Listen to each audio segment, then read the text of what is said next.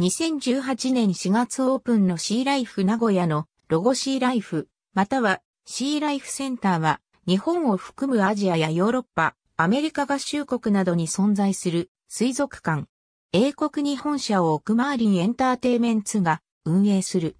また一部のシーライフは、同マーリンエンターテイメンツが運営するレゴランドに隣接されている。シーライフの特徴は、体験型水族館という点で、タッチプールを備えるなど教育に特化し、さらには環境保全活動などを行っている。環境保全の取り組みの一環として、買い物袋をプラスチックではなく、バクテリアによる分解可能な紙製や布製にしている。またレゴランド、カリフォルニアリゾートとレゴランド、ジャパンリゾートにあるシーライフは、レゴモデルや巨大ミニフィグなどが館内や水槽内に配置されており、他のシーライフと一線を画す存在となっている。レゴランドに隣接されているシーライフ2カ所は同時にレゴランド内のサブマリンアドベンチャーというアトラクション内の水槽もプロデュースしている。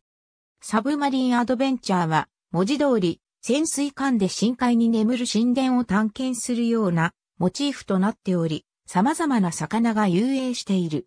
シーライフ名古屋。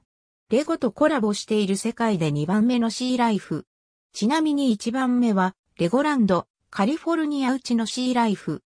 レゴランドに隣接バーミンガム・イングランド・スカーバラ、スコットランド・ブリティッシュテーマパーク・リゾーツ、ケーニヒス・ビンターテーマパーク内、レゴランド、または、レゴランド・ディスカバリーセンターに付属ショッピングモール内。ありがとうございます。